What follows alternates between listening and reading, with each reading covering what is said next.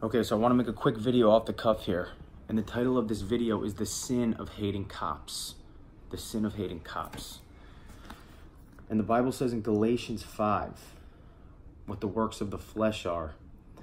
And it tells us uh, how to identify them and how to avoid them. And the Bible says in verse 19 in Galatians 5 Now the works of the flesh are manifest, which are these adultery, fornication, uncleanness, lasciviousness idolatry, witchcraft, hatred, variance, emulations, wrath, strife, seditions, heresies, envyings, murders, drunkenness, revelings, and such like, of the which I tell you before, as I also told you in time past, that they which do such things shall not inherit the kingdom of God. So the Bible says in verse 20, it mentions hatred. And obviously, we know, you probably know if you're watching this video that there is a uh, righteous hatred in the world and God gave us the ability to hate certain things and my prayer is that I'll love everything and everyone that God loves and I'll hate everything that God hates. Uh, however, you know, there's no doubt that most of our hatred is carnal and fleshly. Now, I think um, as I've thought about it over the years and kind of just been dwelling on it specifically the last couple days, um, you know, police officers get a lot of flack in our country. And, you know, often for good reasons. Um, they often are trigger happy. They often um, do commit violence um, in what seems to be a high volume. But the truth is, that really isn't most cops. And I used to be very I used to very much lean towards being very critical of cops, and um, to the point where it was would become a sinful resentment towards cops. And you know, I believe it's very important that we as Christians we do not attribute um, bad intentions to other people without evidence. And the bottom line is this: most police officers are just normal guys trying to do their jobs. And as we'll see in the Bible, you know, in the Bible, I believe the, the cop equals the centurion. You know, the, the officers that, that God uh, basically gives us an example of are the Roman centurions. Now, if anybody had a reason to hate cops or the centurions, it would be Jesus Christ and his fellow Israelis, his fellow, his fellow Jews, because they were foreign occupiers in the land. However, it's a resounding doctrine in the New Testament, and it's laid out for a reason. The centurions were often people who got saved, people who ministered to Christ, and who Christ ministered to in the Bible. And those are the cops of our day. And what we have to understand is, you know, the cops truly, they don't know what they do. I mean, they're just, they want to do the right thing. And here's the thing if we as Christians or even conservative Americans want to keep our guns and our rights and our freedom and our liberty, you know, we would do well to love the police officer as our neighbor and as ourself. Because we don't want to repel them as as Christians and conservatives. We don't want to repel them to the other side so that when when you know the crap hits the fan, they remember all the resentment that the population had towards them and they team up with the government. We want them on our side. And besides all that, you know, whatever happens, happens. But besides all that, it's not biblical to hate cops. And what really got me thinking about this is, you know, I'm so thankful for the testimonies of uh, the Christians that God has put in my life. And when I started going to church, there were a lot of cops that went to my church. Several of the deacons were cops, are cops, and um, several cops go to my church. And the bottom line is, they're some of the best Christians I know, and they have some of the best families I know, and they taught me so much about the Bible, and they they corrected me when I needed to be corrected and you know what I really love about some cops, you know, obviously there are some hothead cops. Obviously there are some psychopath, reprobate cops that get into that position in order to abuse it. And unfortunately, that's what psychopaths do. That's what pedophile. That's why pedophiles become teachers and priests and pastors and Sunday school teachers. That's why people who like to abuse and and hurt the weak intentionally position themselves in those places of authority so that they can get their kicks without um, much oversight, you know, and under the guise of of doing a job. But let's look at some Bible verses, you know, and again, I'm just I'm thankful for the the testimony of the Christian cops in my life. And you know I realized? The cops aren't our enemy. And another thing I realized is, you know, a lot of weird a lot of weirdos hate cops. I don't know if I want to team up with them in that regard. A lot of weirdos like uh, communists and anarchists and socialists. They just hate cops. Why?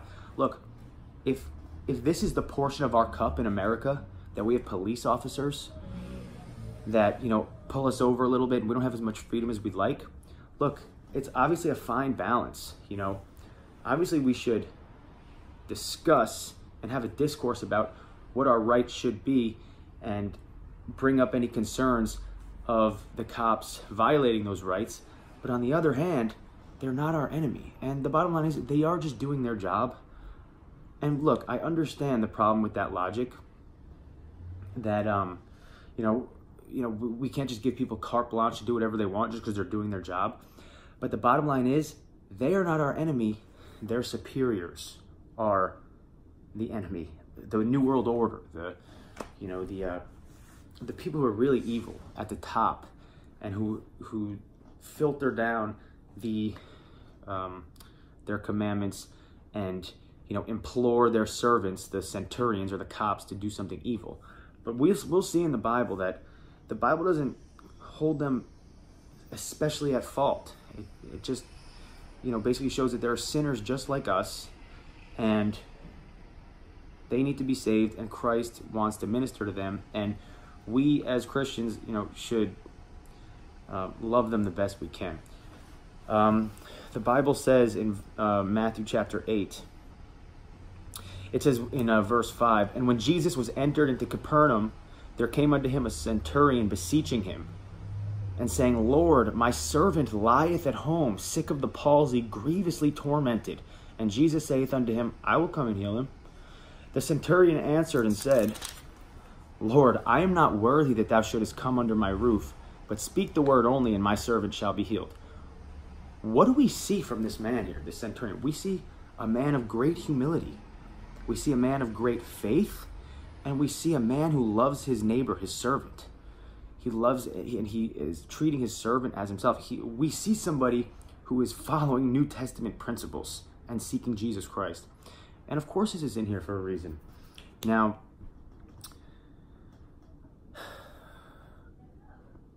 he, I mean, he believed Christ right away. He said, Look, he said, Look, I don't deserve you to come into my house, Jesus. Just speak the word. Just speak it like you did it at creation and like the father did at creation and he'll be he'll be healed look that's a man of faith that is not a wicked servant and you could say you know if you're going to compare the centurions the occupying force of the roman empire in jesus' time to the cops today look i mean it's they're probably we're, we're doing a, even more wrong than the cops that we have today. I mean, the cops are not a foreign occupying force. The cops are the authority, law enforcement structure that we have made for ourselves. It's it's our own fault. They haven't marched in here from a foreign nation and imposed their will on us. Let's look at a couple other scriptures. I know this is already a long video and I had a long intro, but I'm just making this off the cuff and I feel like it's uh, something that's been laid on my heart to talk about. Matthew 27. Let's see what Matthew 27 says. So in Matthew 27, we see another interaction with a centurion. And look, of course, you'll see a you'll see a centurion piercing Jesus' side. You'll see a centurion persecuting Paul, but you'll also see centurions uh, trembling and shaking at the at Calvary and saying, "Truly, this was the Son of God. Truly, this was a righteous man." And you also see a centurion in Acts you know, stepping in for Paul for his rights and, and letting his, uh, his people know, hey, this man is a Roman. He's a Roman. You know, be careful how you treat him. You know, stepping up for his rights and defending the rights of, of his people. Now, that's what we want the cops to do for us. So why, you know, don't spit on them, don't curse them. We need them on our side. And that's how people change. And look, that's how nations changes. The love of Christ, not some carnal hatred for cops that we learned from copblock.org or from Copwatch. Look, Copwatch and Copblock are a bunch of communists and weirdos and potheads. You know, I tried to bear with them long, and they make some good points. And yeah, cops do break the law. They have a great responsibility. They're under a microscope, but Copblock and Copwatch are weirdos. They're communists. They're anarchists. They're strange. Now, what did I say we were going to? Matthew 27.